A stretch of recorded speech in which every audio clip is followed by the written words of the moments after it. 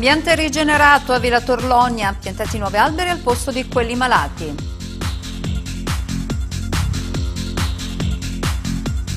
Arrestato pregiudicato sul Monese, denunciato per aver rubato un'auto.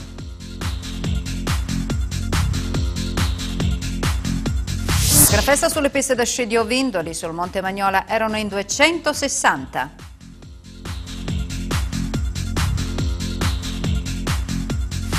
Calcio gli appuntamenti della domenica, Serie di Agnonese Avezzano, Eccellenza Capistrello Giulianova, Alba Adriatica Paterno.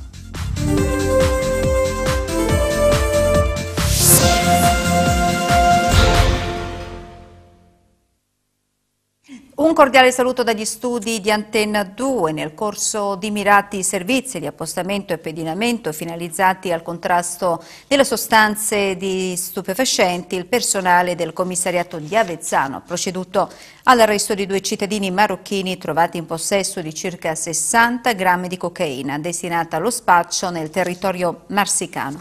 Le successive perquisizioni domiciliari hanno permesso di sequestrare ulteriore quantità di sostanza stupefacente, circa 1.200 euro in banconote, provento della vendita, bilancini di precisione ed altro materiale utilizzato per il taglio ed il confezionamento della droga.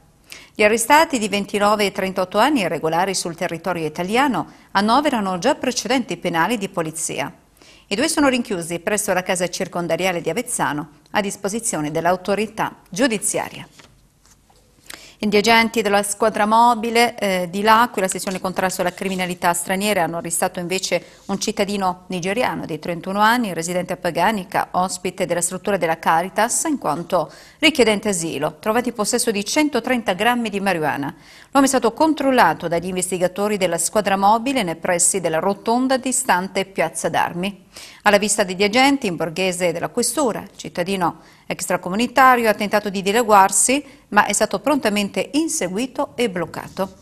Nel corso della perquisizione personale a cui è stato sottoposto il cittadino straniero sono stati trovati quattro involucri sferici nascosti negli indumenti intimi contenenti lo stupefacente. Da tempo la squadra mobile era sulle tracce del pusher nigeriano. Infatti da alcuni giorni attraverso la nuova app UPOL, ideata dalla Polizia di Stato, per ricevere in tempo reale foto e segnalazioni di fatti reato, alla sala operativa della Questura erano giunte diverse comunicazioni da parte di cittadini. Il TAR di L'Aquila ha rigettato la domanda cautelare con la quale i ricorrenti chiedevano la sospensione dell'esecuzione della delibera di giunta comunale aventi ad oggetto proposta di indirizzi dei comuni di Balsorano e San Vincenzo Valleroveto per il riordino nei plessi dell'Istituto Comprensivo di Balsorano e San Vincenzo Valleroveto. Questo risultato consente alle amministrazioni comunali di Balsorano e di San Vincenzo Valle Roveto di procedere nell'attuazione del progetto al fine di garantire ai ragazzi per il prossimo anno scolastico lo svolgimento di un percorso formativo di qualità.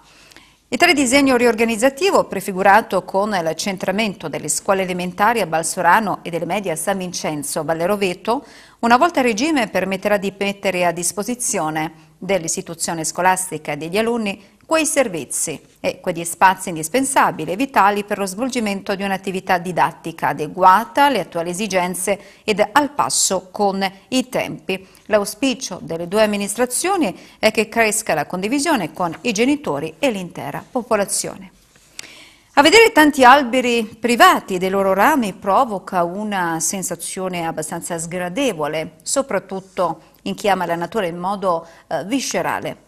Quando però la mano dell'uomo provvede al reintegro di ciò che ha tolto, il piacere del nuovo supera di gran lunga il dispiacere per ciò che è andato perduto.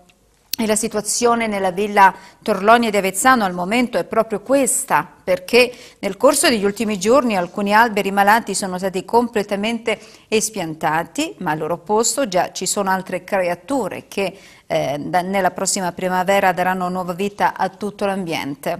Nel servizio che siamo per eh, proporvi ascolterete le parole dell'assessore Crescenzo Presutti, fatto oggetto di diverse critiche al momento del taglio degli alberi più malandati, ma ora orgoglioso per ciò che è stato realizzato o che è in via di ultimazione. Quindi ascoltiamolo al microfono del collega Plinio Olivotto.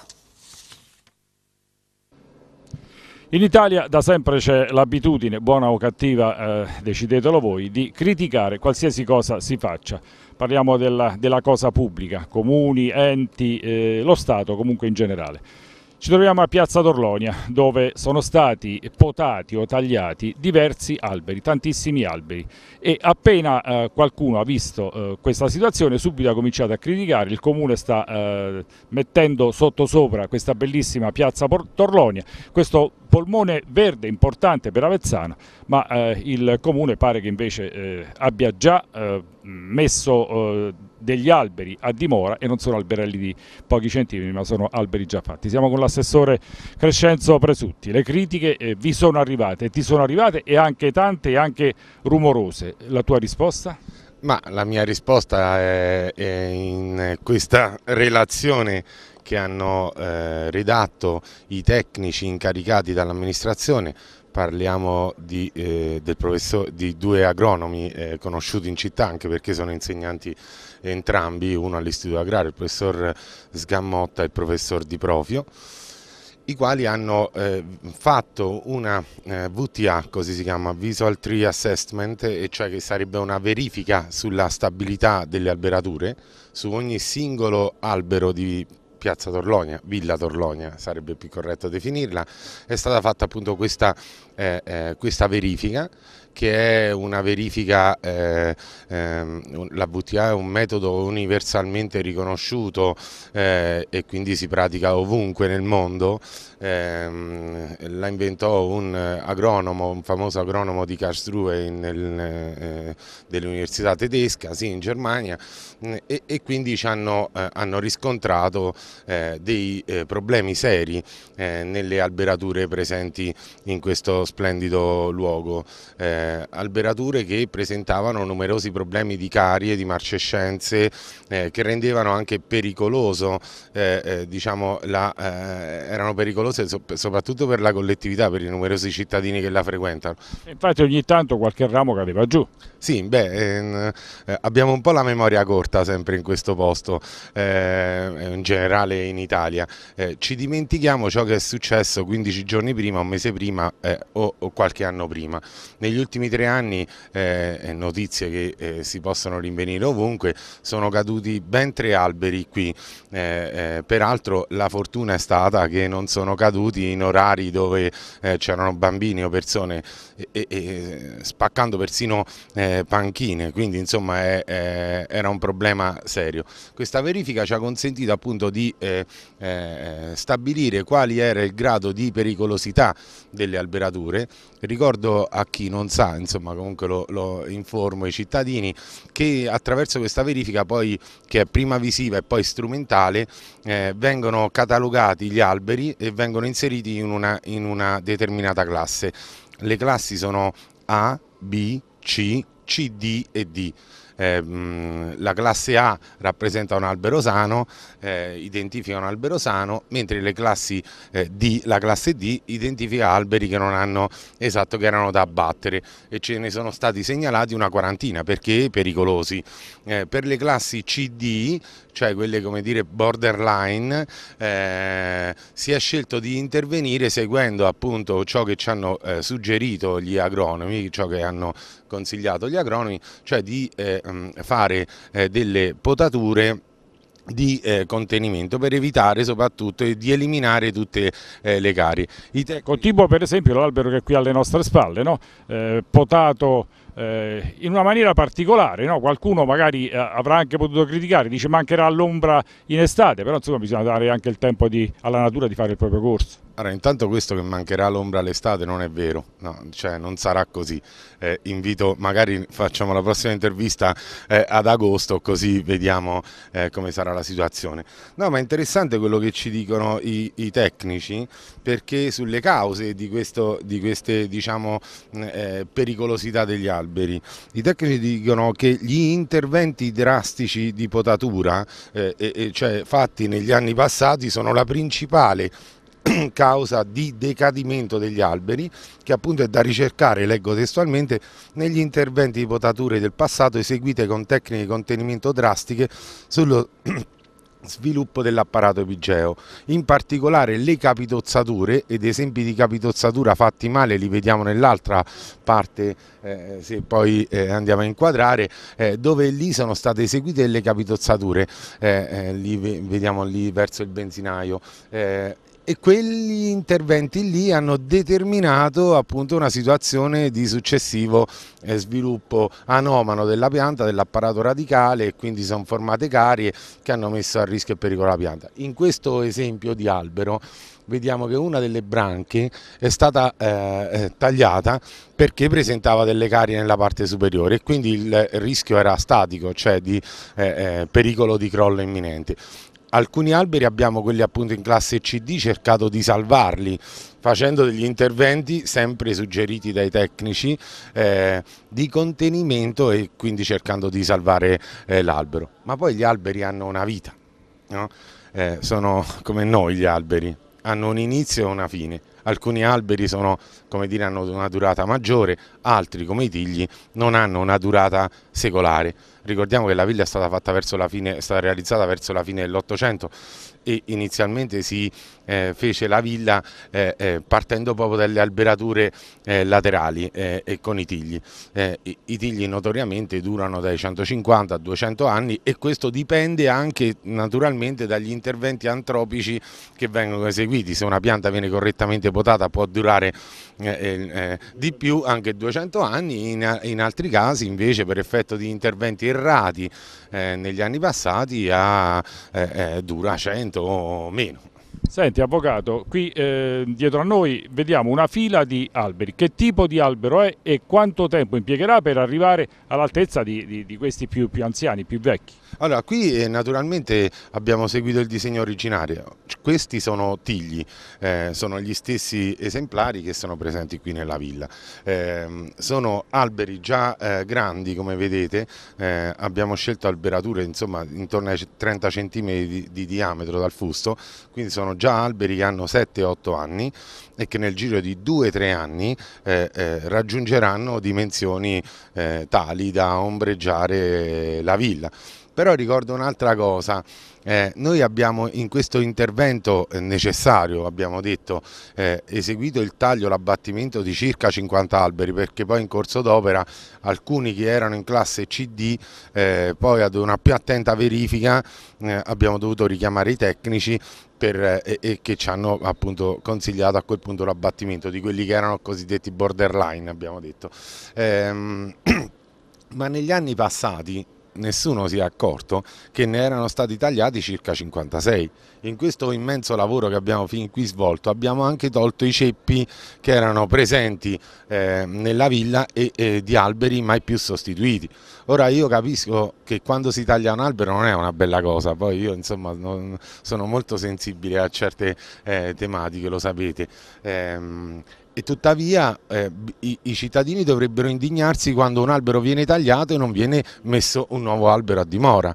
Eh, questa è una città giardino che ha 5.000 alberature e 300 sono state tolte, eh, ne aveva 5.003 negli ultimi 10 eh, anni senza essere mai state sostituite. Noi stiamo facendo anche ciò che non era stato fatto, cioè abbiamo messo a dimora circa 100 nuovi alberi e nel giro eh, di poco tempo, già quest'estate troverete una villa splendida, eh, con prati nuovi, eh, siepi nuove, eh, impianto irrigazione funzionante, una fontana che fin finalmente funzionerà e non sarà più alimentata con acqua potabile, con acqua diretta ma con eh, pozzi che stanno per essere realizzati e quest'estate avrete un giardino, no? la cittadinanza avrà un giardino eh, be bello come, come si conviene. Però il polmone verde di Avezzano diciamo che sta più a nord, la vecchia Pineta, in che condizioni è? Lì eh, vengono tagliati tanti alberi perché sono vecchi, perché stanno eh, loro, alla fine del loro ciclo vitale, eh, ma per eh, ripiantarli?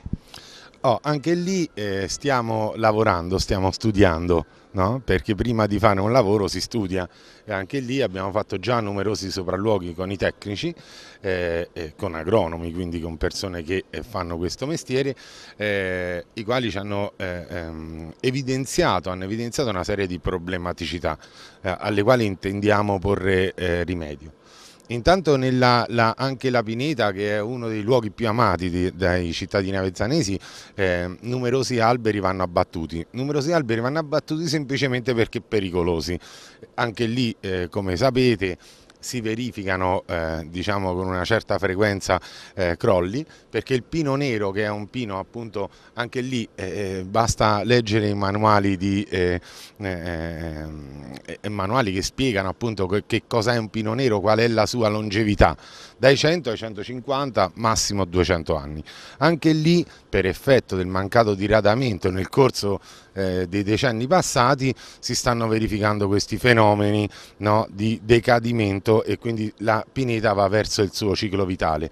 Ora, proprio perché va verso il suo ciclo vitale, noi vogliamo far sì accompagnare verso il, la fine del ciclo vitale sostituendo progressivamente con nuove alberature. Nuove alberature che però, eh, questo è l'oggetto dello studio, eh, probabilmente saranno alberature autoctone. Eh, quindi specie eh, di alberi presenti nei nostri luoghi e per questo aggiungo l'idea del vivaio della forestale che torna in possesso del comune e da lì spero eh, che in futuro, in un immediato futuro, troveremo la possibilità di piantare 10.000 alberi l'anno, seminare 10.000 eh, alberi l'anno e di distribuirli in questo nostro territorio anche agli altri eh, comuni della Marsica.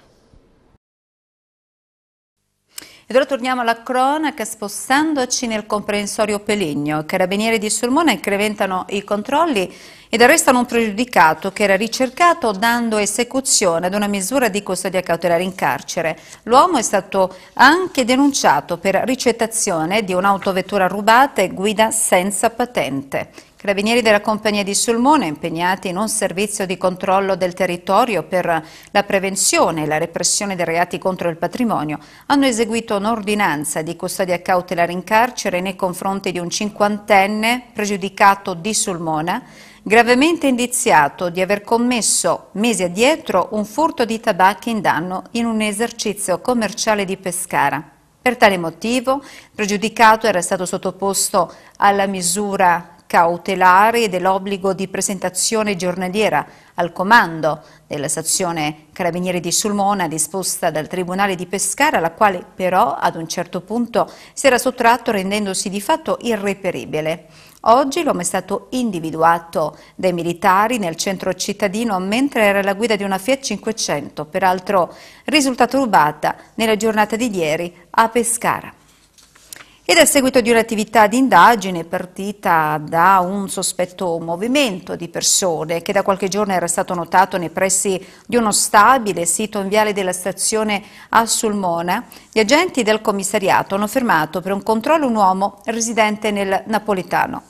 Il continuo via vai di eh, persone ha lasciato presagire che all'interno dello stabile fosse in corso un'attività illecita, per cui gli agenti hanno proceduto all'irruzione all'interno dell'appartamento dove hanno rinvenuto circa 200 capi di abbigliamento, scarpe e accessori sia da uomo che da donna eh, di note marche e risultati contraffatti. Trovate anche diverse etichette pronte per essere apposte ai capi. La merce era conservata in maniera ordinata su scaffali da esposizione.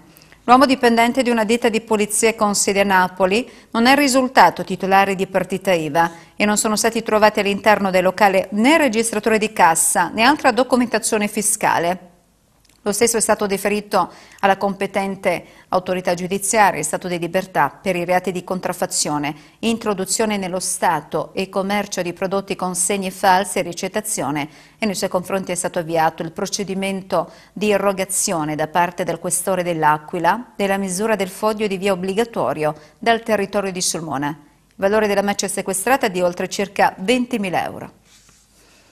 Ed è stata una serata di Festa amicizia, quella vissuta ieri sera sulle piste da sci o Vindoli. Sul Monte Magnola erano in 260. 58 i runners che hanno preso parte alla gara di corsa, 48 coloro che hanno gareggiato con gli sci di alpinismo. Oltre 40 i bambini e ragazzi dell'associazione 360 che a Notefonda sono scesi con gli sci e tra cibo e risate a 1800 metri di quota hanno condiviso momenti indimenticabili con i ragazzi dell'Anfas, Onlus di Avezzano e i loro familiari. È stata una serata speciale per noi, per i nostri ragazzi, ha dichiarato la presidente di Anfas, Onlus, Domenica Di Salvatore. La cronaca sportiva registra comunque la vittoria tra gli sci alpinisti di Carlo Colaianni davanti ad Armando Coach e Marco Daniele, mentre tra le donne prima Raffaella Tempesta davanti a Viviana Ricci e Giovanna Galeotta. La classifica dei corridori di montagna vede primo Antonio Berardi di MT Biscanno davanti ad Angelo Radione ed Antonio Felli entrambi del GS Celano.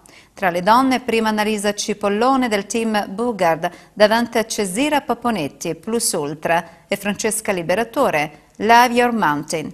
Manifestazione riuscita sotto tutti gli aspetti, è stato emozionante vedere un fiume di luci che si inerpicava sulle nostre piste, ha dichiarato Desideria Bartolotti della Monte Magnola Impianti. Valorizzazione delle aree interne eh, dell'Abruzzo con particolare riferimento al corridoio di collegamento Tirreno-Adriatico che corre sull'asse Teramo-L'Aquila-Roma, incentivi all'imprenditoria locale, sostegno alle piccole e medie imprese, sviluppo turistico e marketing territoriale, accesso al credito, ricostruzione fisica, economica e sociale delle aree colpite dal sisma del 2009 e del 2016 sono alcuni dei temi al centro del dibattito organizzato dalla CNA dell'Aquila e dalla CNA di Teramo che incontreranno i candidati alle elezioni politiche del prossimo 4 marzo. Primo appuntamento è previsto martedì 20 febbraio alle 10 all'auditorium della CNA dell'Aquila in via Pescara, complesso Strenella 88. Si replica poi giovedì 22 febbraio alle 18 a Teramo nella sede della CNA. Le due cene da tempo hanno avviato un percorso di collaborazione strategica con l'obiettivo di sviluppare una maggiore forza politica e una più qualificata struttura di servizi per il tessuto produttivo dei territori di riferimento, spiegano il direttore della CNA di Teramo, Gloriano Lanciotti, e quello della CNA dell'Aquila, Agostino del Re. Le elezioni politiche del prossimo 4 marzo cadono in una fase di trasformazione e profondo cambiamento che deve essere governata con politiche a misura delle piccole e medie imprese che rappresentano il 99,4% dell'imprenditoria italiana. Ai candidati verrà presentata una sintesi del documento predisposto dalla CNA nazionale unitamente alle proposte a livello locale in modo da avere un terreno di confronto omogeneo tra i due versanti del Gran Sasso.